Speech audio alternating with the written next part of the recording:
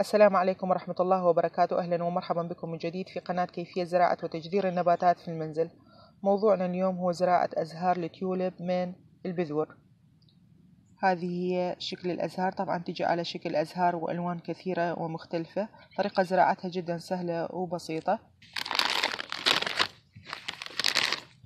نفتح الكيس. هناك بعض الإرشادات وبعض النصائح قبل بداية قبل أن نبدأ في زراعة الأبصال تعتبر هذه الأبصال من الأبصال الشتوية. تتم زراعتها في فصل الشتاء في شهر 11 شهر 12 عند شراء الأبصال يفضل وضعها في الثلاجة أو البراد لمدة أسبوعين قبل زراعتها لتحفيز البذرة على النمو. هذه شكل الأبصال بعد ما وضعتها في البراد قبل أسبوعين بلشت تظهر عندي النموات هنا.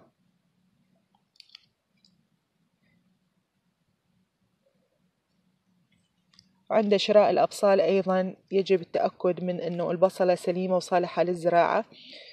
ذلك بالضغط على البصلة بهذا الشكل. إذا شفنا البصلة آه، تكون يعني قوية معناته أنه البصلة صالحة للزراعة. أحيانا تكون طرية معناته أنه البصلة غير صالحة للزراعة وتوجد داخلها عفن فما تنبت عندنا. يفضل الضغط على البصلة بهذا الشكل حتى نتأكد أنه هي صالحة للزراعة. هنا أنا عندي أني تربة البيتموس مع الكومبوست خلطتهم مع بعض حتى أحصل على الفيتامينات الموجودة في التربتين طريقة عمل ال peat moss وال compost نزلتهم في فيديو سابق اللي يحب يراجعها موجودة ومثبتة على القناة.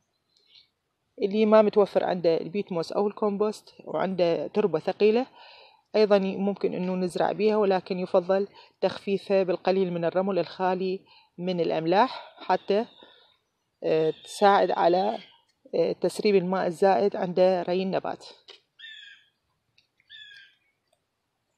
نعمل فتحات في التربة على عمق البصلة. مثلا هنا حجم البصلة هذا الشكل. نعمل الفتحة بضعف حجم البصلة حتى تنبت معنا. هذا الشكل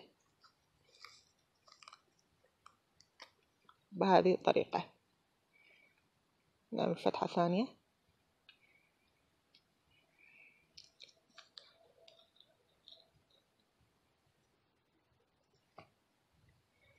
طريقة جدا سهلة وبسيطة. عند زراعة الأبصال هناك خطأ شائع.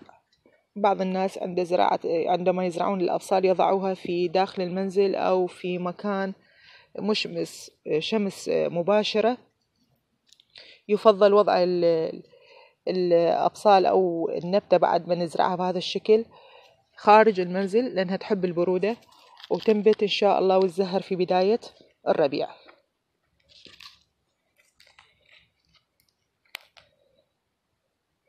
إذا كنا زارعين الأبصال داخل أصيص عادي تبقى داخل الأصيص أو السندانة للسنة اللي بعدها. الزهر سنويا طريقة إكثارها تكون عن طريق الأبصال. ممكن أنه نكاثر النبات عن طريق الأبصال.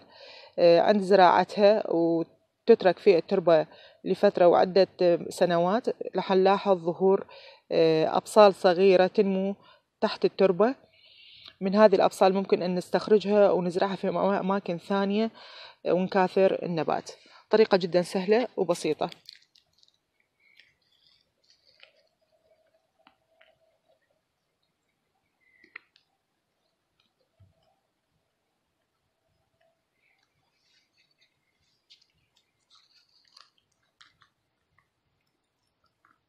بهذا الشكل.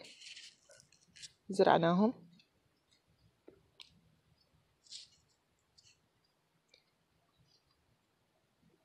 نغطيهم الآن بالتربة.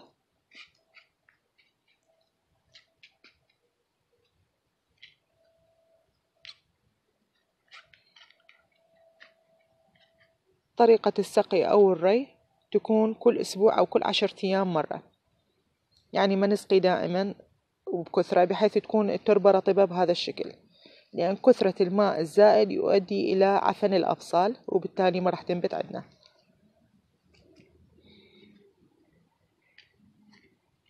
أول ما نزرعها نرويها بالماء ونتفقد التربة كل أسبوع أو كل عشرة أيام نرويها مرة. نضعها في مكان يصل إلى ضوء الشمس حتى تسهل عندنا عملية الإنبات. بعد ثلاثة أشهر من زراعتنا أبصال التيولب في التربة كبرت وياي النبتة بهذا الشكل وبلشت تظهر عندي الأزهار. هذه أول زهرة بعدها ما فتحت وأيضا النمو الخضري ممتاز جدا. بعد ثلاثة أشهر وثلاثة أيام فتحت عندي أول زهرة من نبات التيولب أرجو أن تكونوا قد استفدتم من فيديو هذا اليوم وأرجو الاشتراك بالقناة وتفعيل الجرس وعمل مشاركة ولايك ليصلكم كل جديد. السلام عليكم ورحمة الله وبركاته.